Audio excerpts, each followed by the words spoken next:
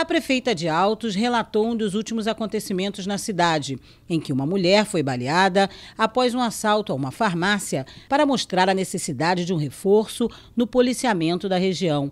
A cidade foi uma das contempladas com uma nova viatura. Uma viatura dessa, ela tem ela dá, faz com que o policial chegue à zona rural mais distante do município. Altos, por exemplo, tem uma zona rural muito grande. Então, se ela não tem uma viatura apropriada para entrar na zona rural, ela não vai. O senhor Moisés destacou que, além de viaturas novas, a comunidade necessita de áreas de lazer para adolescentes e condições para que os pais afastem os jovens da criminalidade. Segundo ele, atualmente a Grande Teresina possui mais de 80 mil habitantes. A capital em si, ou as, os municípios em torno de Teresina, que todos hoje estão sendo contemplados, eles têm, na zona urbana, eles têm algumas praças, alguns campinhos de futebol.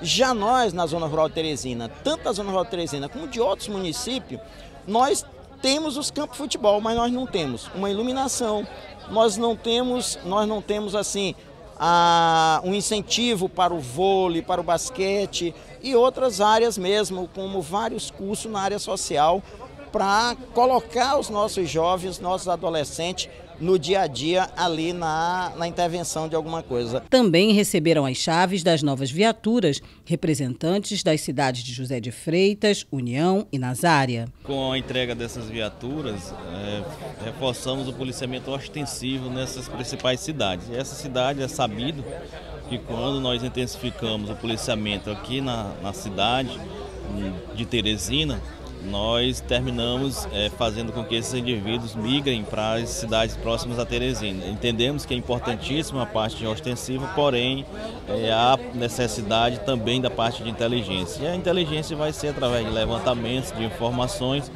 de indivíduos que estão prestes a cometer crimes ou aqueles que cometem principalmente o tráfico. Estamos lançando hoje aqui, por exemplo, relançando o policiamento rural.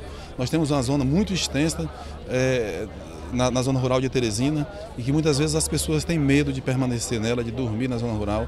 Então a orientação é para que nossos policiais visitem as comunidades, as propriedades, visite as pessoas e dê a ela esta garantia de, desse direito tão sagrado que é o direito de ir e vir, sobretudo de permanecer na sua propriedade.